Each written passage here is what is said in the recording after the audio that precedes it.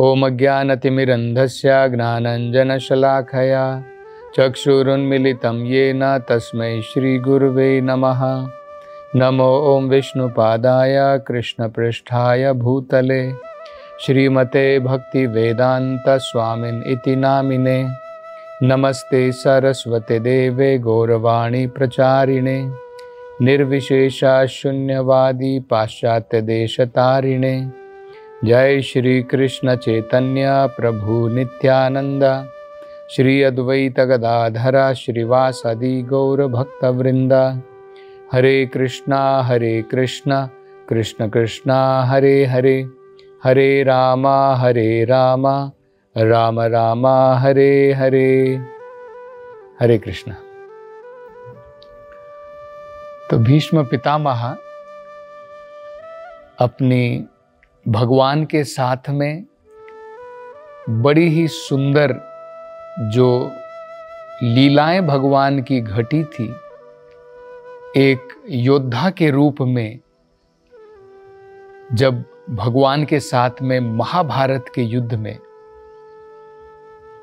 उसको याद कर रहे हैं भीष्म पितामह। किस प्रकार से भगवान ने भीष्म पितामह की इच्छा पूर्ण की थी। भीष्म पितामह भगवान कृष्ण से वीर्य रस में संबंधित थे। तो उस रस के अनुसार भगवान और भीष्म पितामह प्रतिद्वंदी के रूप में आपस में युद्ध कर रहे थे। भीष्म देखना चाहते थे भगवान को एक योद्धा के रूप में। लेकिन भगवान ने तो कहा था कि मैं महाभारत में भाग नहीं लूँगा, मैं अपनी व्यक्तिगत शक्ति का प्रयोग नहीं करूँगा।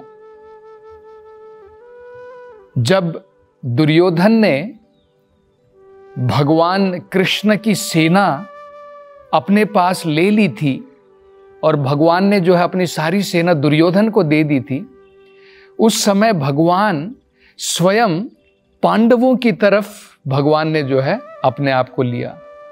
लेकिन भगवान ने एक शर्त कही। जब अर्जुन से पूछा था कि, अर्जुन, तुम मुझे चाहते हो या मेरी सेना को चाहते हो? और भगवान ने कहा था, अगर तुम मुझे लेते हो तो मैं तुम्हारा केवल एक रथ का सारथी मात्र बन सकता हूँ। मैं युद्ध में कोई अस्त्र शस्त्र नहीं उठाऊँगा। लेकिन अगर तुम मेरी सारी सेना चाहते हो तो तुम मेरी सारी सेना ले सकते हो। तो अर्जुन ने कहा, नहीं भगवान, आप बिना अस्त्र शस्त्र के भी अगर आप मेरे साथ में रहेंगे तो यही मेरी इच्छा है। और जब अर्जुन ने इस प्रकार से भगवान को मांगा था दुर्योधन बड़ा प्रसन्न हो गया था। दुर्योधन तो यही चाहता था कि भगवान की सारी सेना उसके पास में आ जाए और वो सोच रहा था कि मूर्ख अर्जुन, उसने भगवान को अपने पक्ष में कर लिया है, लेकिन क्या फ़ायदा है? भगवान जो है, अस्त्र भी नहीं उठाएँगे, शस्त्र भी नहीं उठाएँगे। लेकिन भगवान की सारी की सारी सेना अब मेरे पास में है। तो अब भीष्म पितामह जो है इस द्वंद में थे कि वो तो भगवान के साथ में जो उनका रस जुड़ा था, वो वीर्य रस में था। वो भगवान को योद्धा के रूप में, अपने प्रतिद्वंदी के रूप में उनकी सेवा करना चाहते थे। लेकिन भगवान ने तो कह दिया कि मैं तो अस्त्र शस्त्र उठाने वाला नहीं। तो अब ये कैसे संभव होगा? भीष्म पितामह की इच्छा कैसे पूर्ण होगी? तो देखिए, भगवान ने भीष्म पितामह की इच्छा को कैसे पूर्ण किया, इसको याद कर रहे हैं भीष्म पितामह। युद्ध के समय में क्या हुआ? हमें सबको ज्ञात है कि भीष्म पितामह उनका स्नेह जो है पांडवों के साथ में था। वो कौरवों के पक्ष में ज़रूर थे, लेकिन उनकी सहानुभूति, उनका स्नेह जो है पांडवों के साथ में था। तो दुर्योधन ने भीष्म पितामह का बड़ा अपमान किया। उन्होंने कहा, हे पितामह, तुम किस प्रकार के योद्धा हो?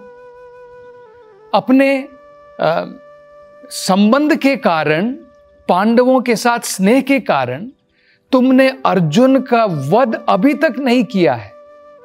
तो इस प्रकार से, अनेकों प्रकार से, भीष्म पितामह के ऊपर उन्होंने कलंक लगाया। और उनका अपमान किया। और क्षत्रिय जो है, इस प्रकार के अपमान को सहन नहीं कर सकता है। तो भीष्म पितामह ने प्रतिज्ञा की। उन्होंने कहा कि जो विशेष प्रकार से मेरे पास में जो पाँच बाण हैं, जो विशेष रूप से पांडवों के वध के लिए बनाए गए हैं, मैं कल उनका प्रयोग करूँगा और उनके द्वारा पाँचों पांडवों का वध कर दूँगा। तो ये सुनकर के दुर्योधन बड़ा निश्चिंत हो गया, बड़ा खुश हो गया। और उसने क्या किया? पाँचों के पाँचों बाण जो हैं, अपने पास में रख लिए। तो अब भगवान कृष्ण तो अंतर्यामी है, सब जानते हैं। भगवान समझ रहे हैं कि भीष्म पितामह ने इस प्रकार की प्रतिज्ञा की है। कि कल अगले दिन इन पाँचों बाणों के द्वारा जो विशेष रूप से पांडवों के वध के लिए बनाए गए हैं, इनके द्वारा मैं पांडवों का वध करूँगा। तो भगवान ने अगले दिन का युद्ध प्रारंभ होने से पहले अर्जुन के द्वारा चतुराई से जाकर के दुर्योधन से ये पाँचों बाण जो है मंगवा लिए, दान के रूप में ले लिए। और उसके कारण जो है, अब ये बाण भीष्म पितामह के पास में नहीं थे। तो भीष्म पितामह को सब समझ में आ गया कि भगवान ने पांडवों की रक्षा करने के लिए वो पाँच बाण जो हैं, अर्जुन के द्वारा जो है अपने पास मंगवा लिए हैं। तब भीष्म ने एक और प्रतिज्ञा की। तो भीष्म पितामह ने कहा, कल युद्ध में मैं इतनी तीव्रता के साथ में युद्ध करूँगा कि या तो अर्जुन का वध निश्चित है, या फिर भगवान को अपना वचन तोड़ना पड़ेगा उसकी रक्षा करने के लिए।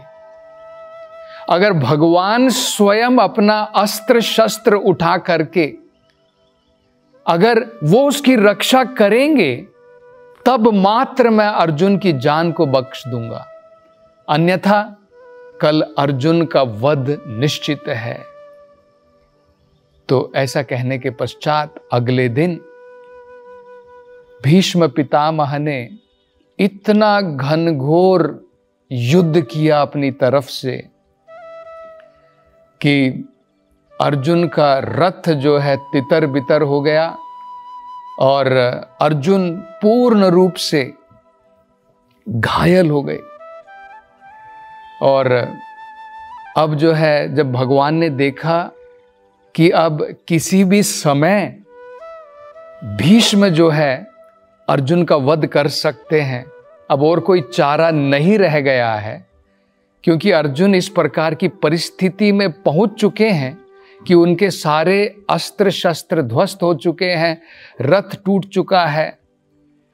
तब भगवान ने जो है, तुरंत अर्जुन की रक्षा करने के लिए और भीष्म की इच्छा पूरी करने के लिए, अर्जुन की रक्षा करने के लिए और भीष्म पितामह की इच्छा पूरी करने के लिए।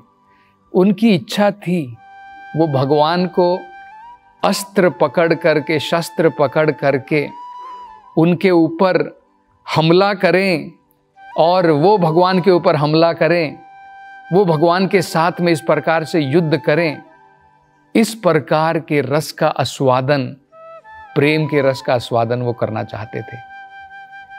तो अब भगवान जो है, असल में देखा जाए तो भगवान के लिए कोई मुश्किल नहीं है। अर्जुन की जान को बचाने के लिए, भगवान के लिए कोई मुश्किल नहीं है कि वो बिना अस्त्र उठाए अर्जुन की जान बचा सके। लेकिन भगवान अपने भक्त की इच्छा को पूरी भी करना चाहते हैं और सारे संसार को भगवान ये दिखाना चाहते हैं कि मैं अपने वचन को तोड़ सकता हूँ अपने भक्त के वचन को पूरा करने के लिए। अभी देखिए, भगवान ने वचन क्या दिया था? अपने लिए, मैं युद्ध में अस्त्र शस्त्र नहीं उठाऊँगा। तो भगवान अब इस वचन को तोड़ने के लिए तैयार है। और भगवान का दूसरा वचन क्या है? मैं हमेशा अपने भक्तों की रक्षा करूँगा। तो अब अर्जुन की भगवान को रक्षा करनी है किसी न किसी प्रकार से। दूसरा, भगवान जो है भीष्म पितामह की इच्छा भी पूरी करना चाहते हैं। उनकी इच्छा क्या है? भगवान अस्त्र लेकर के मेरी तरफ़ जो है प्रहार करें। उनकी इच्छा इस प्रकार से है। तो भगवान उनकी इच्छा पूरी करने के लिए, अर्जुन की रक्षा करने के लिए, अपने वचन को तोड़ने के लिए भगवान तैयार हैं। इसलिए भगवान को भक्त वत्सल कहा जाता है। तो तुरंत भगवान ने क्या किया? भगवान ने जो है रथ का पहिया निकाला। उनके पास में उस समय अस्त्र शस्त्र नहीं थे। और चक्र की भांति भगवान ने जो है, जैसे उनका सुदर्शन चक्र है, उस प्रकार से भगवान रथ के पहियों को घुमाते हुए भगवान ने जो है भीष्म पितामह के ऊपर प्रहार करना प्रारंभ किया। भगवान जो है उनकी तरफ़ भागे। भागवतम में कहा है भीष्म पितामह याद कर रहे हैं, ये प्रहार भगवान का इस प्रकार से था, जिस प्रकार से शेर जंगल का राजा जो है, हाथी के ऊपर हमला करता है, क्रोधित होकर के। तो ठीक इसी प्रकार से भगवान जो है, क्रोधित होकर के रथ का पहिया लेकर के भगवान जो है, भीष्म पितामह की तरफ़ भाग रहे हैं। और वो याद कर रहे हैं भीष्म पितामह कि उस समय में भगवान के सुंदर चेहरे को देख करके वो मुस्कुरा रहे हैं। और अपनी तरफ़ से भगवान की सेवा करने के लिए तीर जो है धनुष से बाणों की वर्षा कर रहे हैं जिसके द्वारा भगवान के अलग अलग जो है भाग में अनेकों प्रकार से भगवान घायल हो रहे हैं और भगवान के शरीर से लहू मा, मानो निकल रहा है। भगवान का शरीर तो आध्यात्मिक है। ना तो भगवान का शरीर इस प्रकार से छेदा जा सकता है किसी अस्त्रों के द्वारा और शस्त्रों के द्वारा। लेकिन भगवान इस लीला में ये प्रदर्शन करना चाहते थे क्योंकि ये इच्छा थी भीष्म पितामह की। तो भगवान जो है भाग रहे हैं भीष्म पितामह की तरफ़ प्रहार करते हुए और भगवान के शरीर से लहू निकल रहा है। भगवान के केश जो है लहरा रहे हैं। यहाँ तक कि भगवान इतने क्रोधित है, उनको ये ध्यान भी नहीं है कि जो उन्होंने ऊपर से जो कपड़ा पहना हुआ है भगवान का, वो भी जो है रास्ते में गिर गया है।